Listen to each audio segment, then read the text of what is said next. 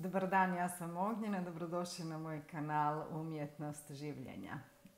Danas ćemo razgovarati o takozvanom hodanju po jajima. Ako ste, ako ste bili ili ste još uvijek u odnosu sa, sa ljudima iz klaster bija, jako dobro zna, jako vam je dobro poznata, znači ta, to, to, to ponašanje, znači hodanje po jajima. Hodanje po jajima je ja se znam nekad našaliti, hodamo po jajima da ne bi letjele sekire. E, znači, a znate kako kaže, kad lete sekire sagni glavu. Eh, hodamo po jajima, eh, hodanje po jajima je zapravo postupanje suovisnika u, znači unutar toksičnog odnosa u kom znači taj suovisnik čini sve da bi izbjegao potencijalni sukob i da bi zapravo na, na, na određenoj razini e, udovoljio znači tom, tom despotu, ajmo to tako reći, znači osobi iz klaster bija.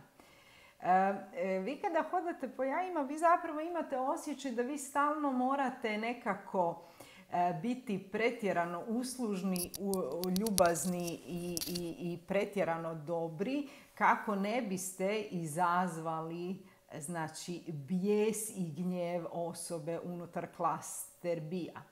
E, I u naravi e, to dovodi do toga da vi postajete osoba koju se kontrolira. Znači, e, osoba iz klaster bija, znači svojim e, mudrim znači i proračunatim promjenama raspoloženja e, vas u biti kontrolira i drži vas u tom, e, e, e, drži vas u tom podložnom položaju. A na koji način to radi? Na način da je jako, jako nepredvidivo u svojim reakcijama. I to je nešto što meni ljudi uvijek govore.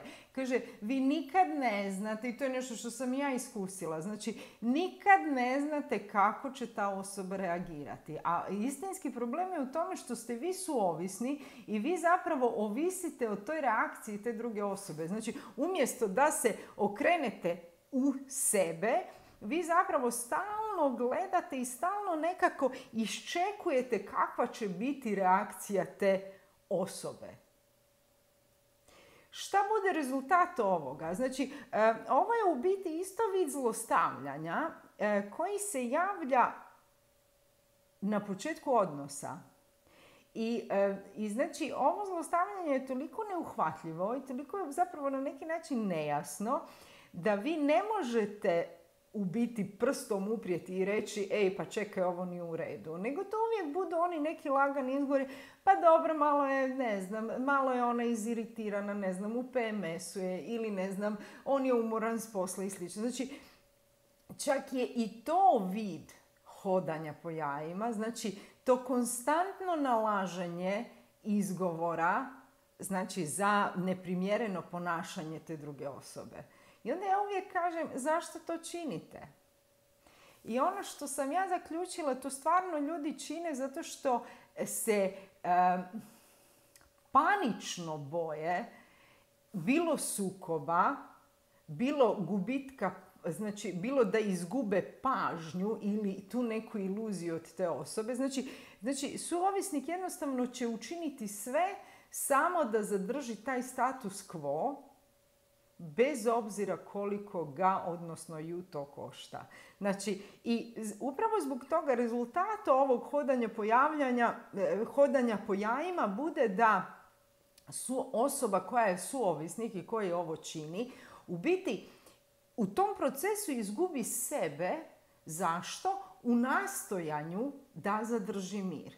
I onda ja uvijek kažem, ma mislim sve ok, ali odnos je dvostrana cesta. Znači, ako vi hodate po jajima, to vam je jasni pokazatelj da vaš odnos nema reciprociteta. I e, ono što je najgore je što to su uvijek e, e, modeli ponašanja koji počnu vrlo neprimjetno. Prosto vam se nekako ušuljaju i oni samo zapravo, samo se nadograđuju i postaju sve gori i gori. rezultat bude da, da ste vi Znači, ako ste vi suovisna osoba, e, e, vi, vi postanete u jednom trenutku, vi, vi uistinu postanete u jednom stalnom stanju anksioznosti, jer ste vi u stalnom nekom iščekivanju e, kako će ta osoba reagirati.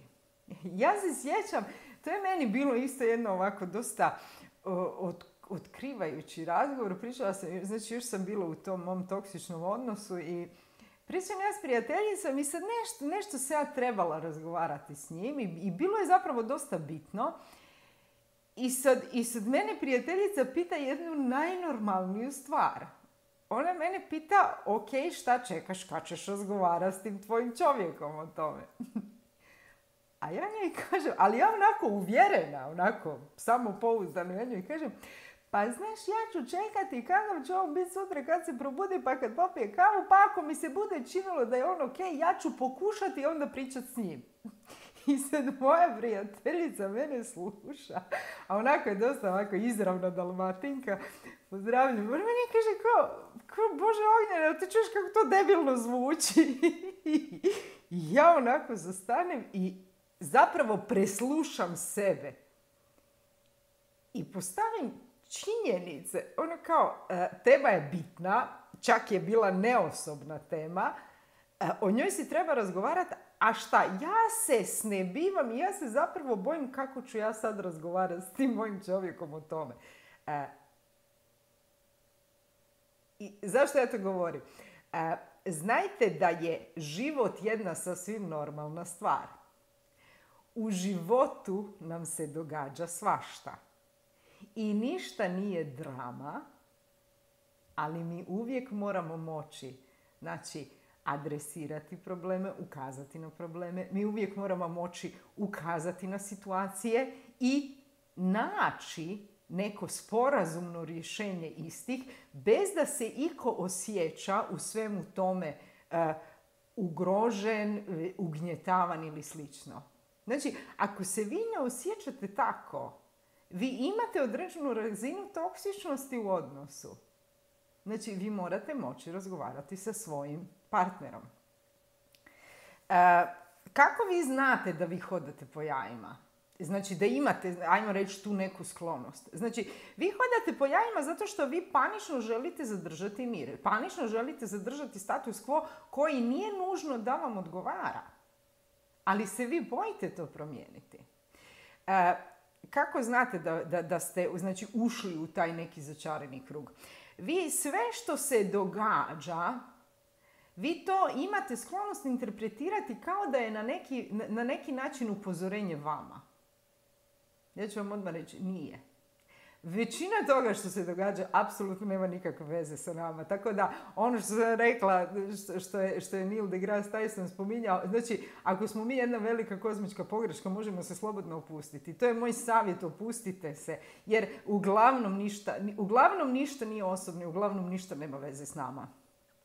A, nadalje, vi, se, vi ste u odnosu u kom se vi bojite znači, reći šta mislite i kako se osjećate. To je znači ovaj moj komentar, pa ja ću gledat kako se on osjeća ovo ono, jer u biti šta, ja se bojim reći nešto što bi morala moći reći sasvim normalno, opušteno i bez drame. Međutim, ja se bojim.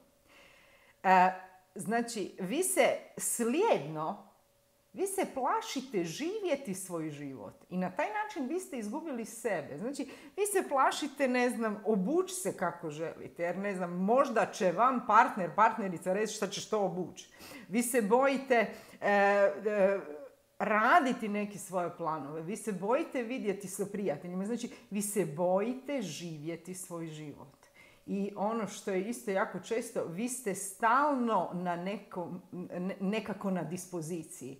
Znači, e, to su vam one situacije kad, ne znam, e, panično stalno gledate u telefon jer ne daj Bože da telefon zazvoni, a vi se ne javite. Ali zašto se to događa? Vi ste kondicionirani tako se ponašati. Zato što se, e, prvo, vi se bojite ne ugoditi tom partneru, a drugo, velika je šansa, to je jako često, velika je šansa da ste da u prošlosti je bilo situacija kada, ne znam, niste odgovorili na telefon i onda su ono, onda je ono počela salva bijesa, šta se ne javlja, šta će ti telefon ako ga ne čuješ i slične stvari. Ja znam ljude koji jednostavno imaju PTSP od telefona, zato što ne znam, bi ih partnerica fakat ono radila ogromne drame ako se čovjek ne javi isti čas, što je zapravo strašno. Niko to ne treba raditi nikome. Znači, e, niko nam ne smije raditi PTSP. Znači, nemojte to zaboraviti. I ja mogu, raz, i pazite, ja mogu razumjeti da vi hodate po jajima da ne bi letjele sjekire. Jer stvarno kad lete sjekire, ja uvijek kažem, to ja kažem i klijentima, e, kad lete sjekire onda sagni glavu. Onda nema. Kad lete sjekire onda lete sjekire. Onda se čeka da, da odlete i da se razlete.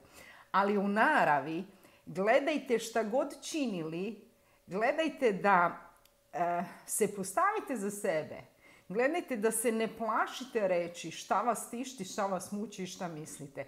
Gledajte da živite ovaj život. Jer znate zašto? Zato što je vaš. Nemojte dati svoj život nikome. Vaš život je vaš i to vam ja želim. Da živite ovaj život u svojoj njegovoj punini. Hvala vam na ovom razgovoru i hvala vam što me pratite. Hvala vam što slušate reklame. Hvala vam kad mi pošaljete donaciju. Hvala vam što radite sa mnom. Možete mi se javiti na mail ako to želite. Hvala vam na svim komentarima. I ovaj, do sljedećeg razgovora budite mi zdravo, dobro i veselo. Ćao!